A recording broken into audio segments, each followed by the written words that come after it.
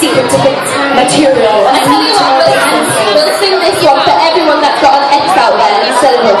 Yes. So this one is Shout Out to My Ex. We've been voted. This is a shout out to my ex.